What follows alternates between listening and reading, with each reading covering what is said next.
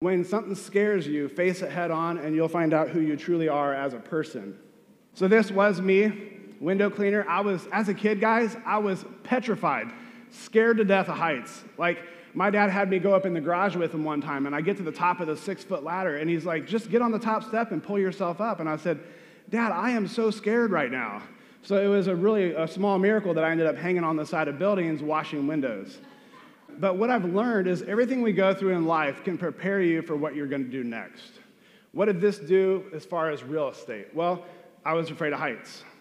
What was my other biggest fear? Public speaking. So when Sean Sturrock reached out to me, you know what I didn't do? I didn't run the other way. I said, absolutely, I'd be happy to share. So when something scares you, be willing to face it head on. It's not that you, like for instance, I never overcame my fear of heights. I'm still afraid of heights, but I faced it. And so when something scares you, face it head on and you'll find out who you truly are as a person. I got licensed back in 16, joined EXP in November of 17. Now, when I was leaving, my broker literally looked at me. He says, Oh, my word, Shaun, you need to stop for a moment. You need to think about what you're doing. He's like, I'm scared to death for you right now. This is going to ruin you. But what did I already learn? I learned that I'm not going to let something that scares me stop me. So I was like, I gave him a hug. I told him I loved him. I said, I have to do this for my family because my family comes first. This has nothing to do with you and that you were horrible or anything like that. I have to do this for my family. What I challenge you today is believe in yourself. You're not going to achieve it unless you believe it. And if you don't feel like you're quite ready to do whatever it is you want to do, surround yourself with people that believe in you. You've brought someone into eXp Realty and they haven't achieved what they need to do. Be that person for them. Be the person pumping them up, believing in them, speaking positive into them. Guys, when someone keeps believing in you and you finally start to believe in yourself and you finally start to achieve what you want to achieve, you start you're, you're accomplishing your vision, like Gene was talking about. So, one thing in that 101 ways to lead generate that Gene, he has a video if you don't want to buy the book. I just recommend the book simply because you can hand it out to new agents. But basically, he talks about go and get some coffee. Plop down $50, $100, whatever your budget looks like. It doesn't have to be a lot. I went to a local coffee shop. It was a buy one, get one free Wednesday. And so I asked him, I said, hey, could you give my card to everybody that gets a free coffee? I want to buy $50 worth of coffee, and I'm going to sit over here.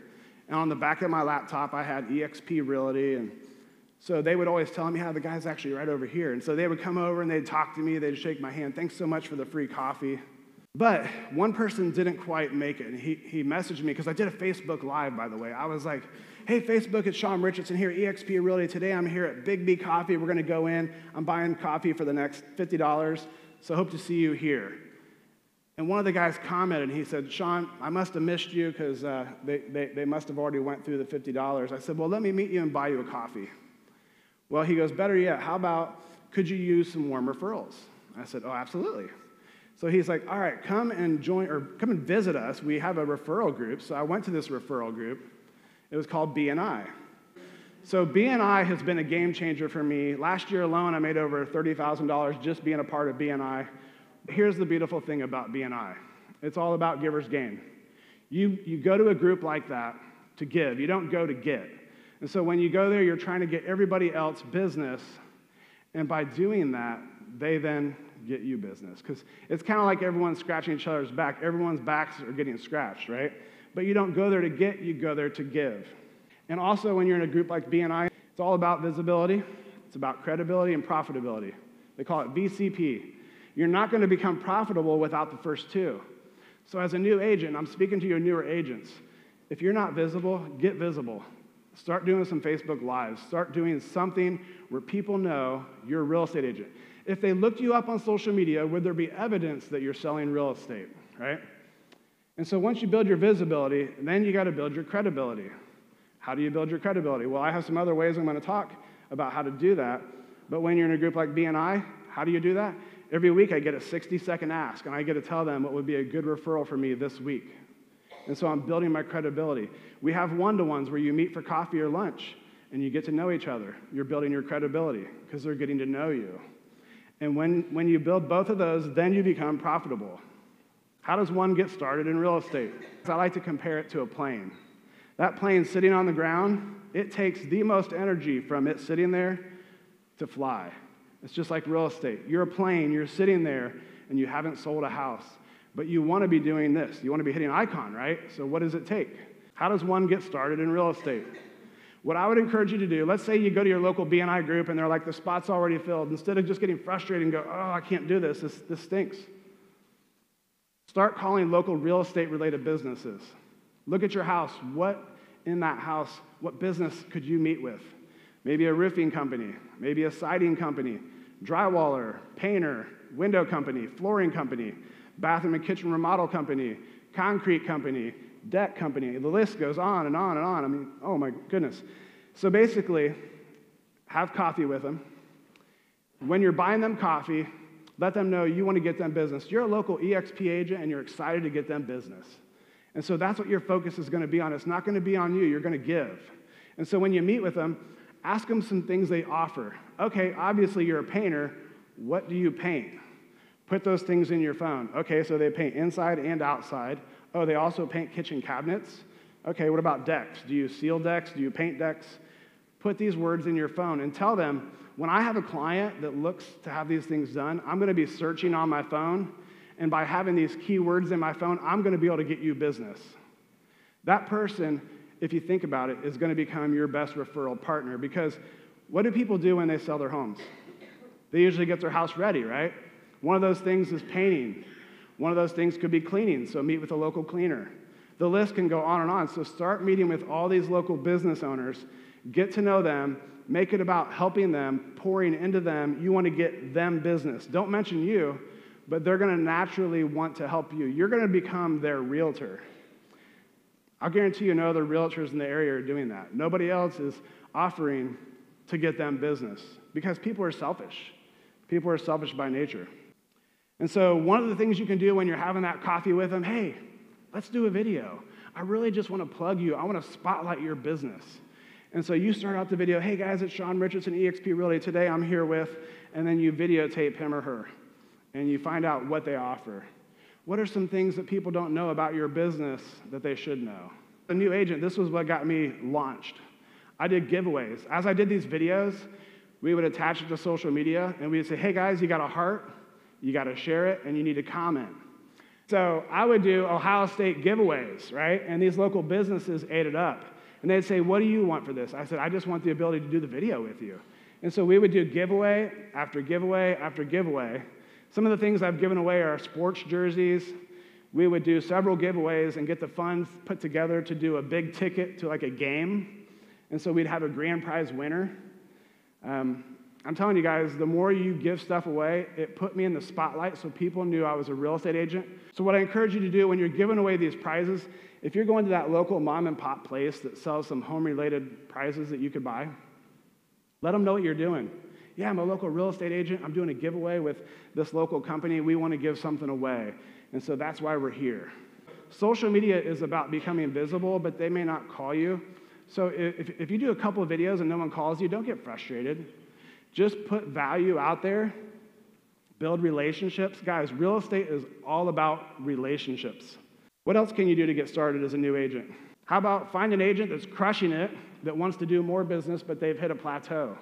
Become their buyer's agent and just make it about them. Tell them, I want to get you to the next level. That's what I did. I partnered up with one of my agents I was in a business with, and I became his buyer's agent.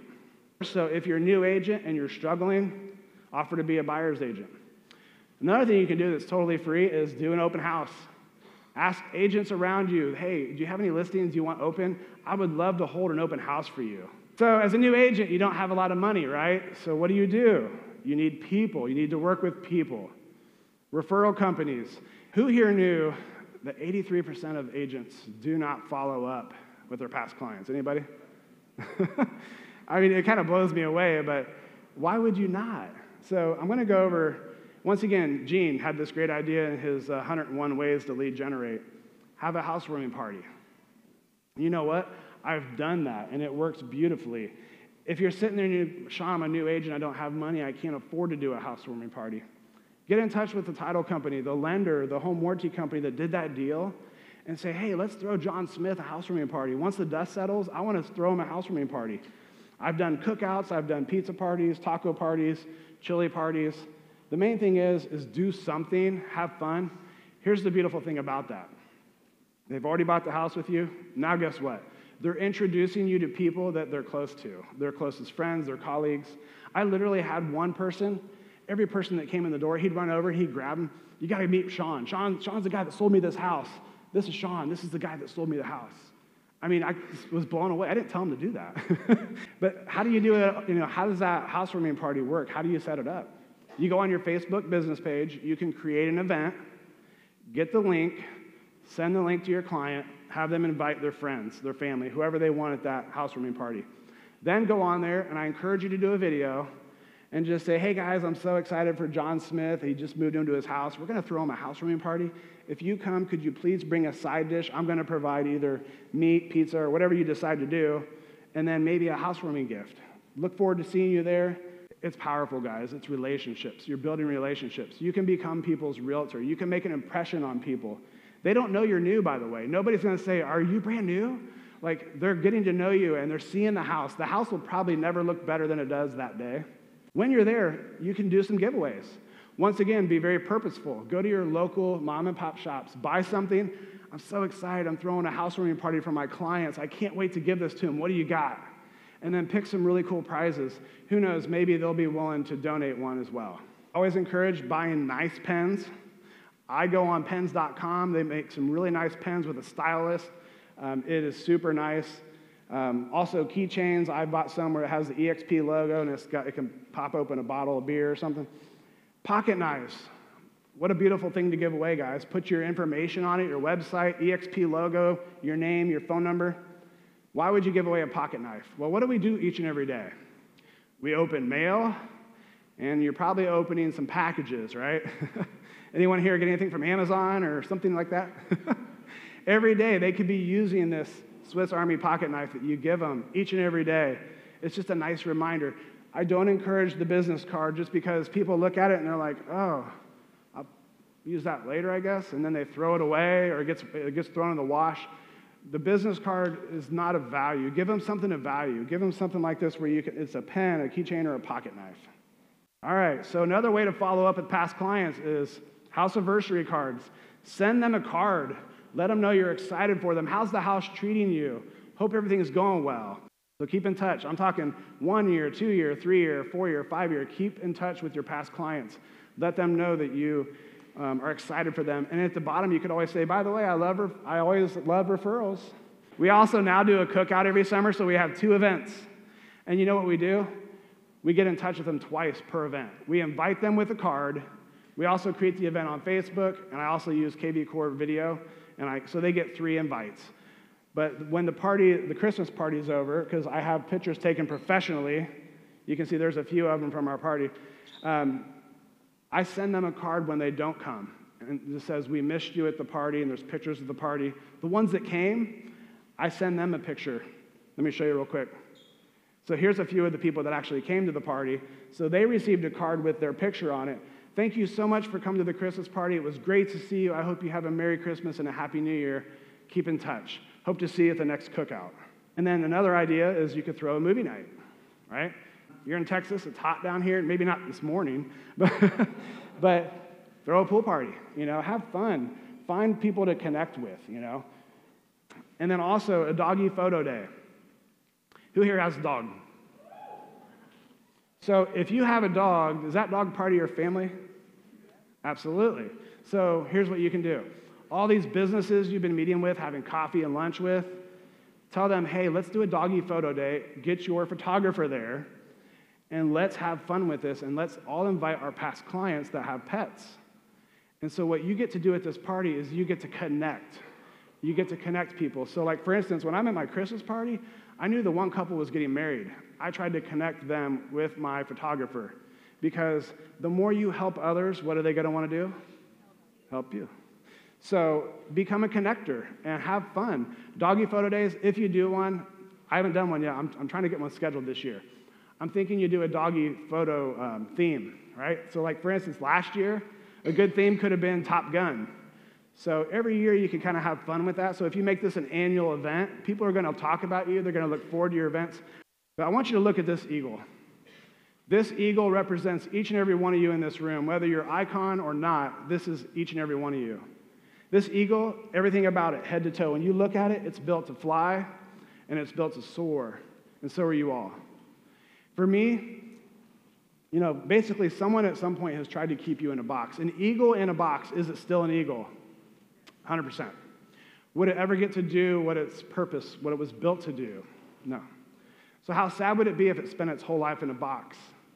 At some point in your life, someone tried to keep you in a box. For me, it was my first window cleaning job. My boss occasionally would throw in there, but by the way, Shaun, we overpay you for somebody without a college education. Stay in your box. When I get into real estate after two years of not making any money and I'm trying to get going, and I'm talking to my broker about leaving to EXP, he said, This is going to ruin you, Shaun. You really got to stop and think about what you're doing. Stay in your box.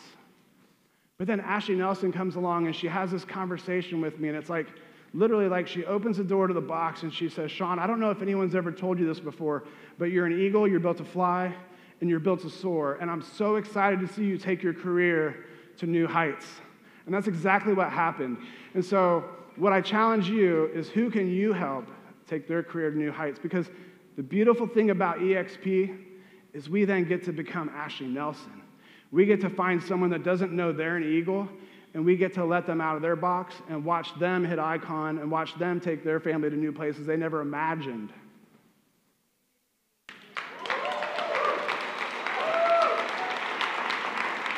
I just wanted to share from the heart. Make it all about people, make it about relationships. Don't make it about selling homes. It's about people.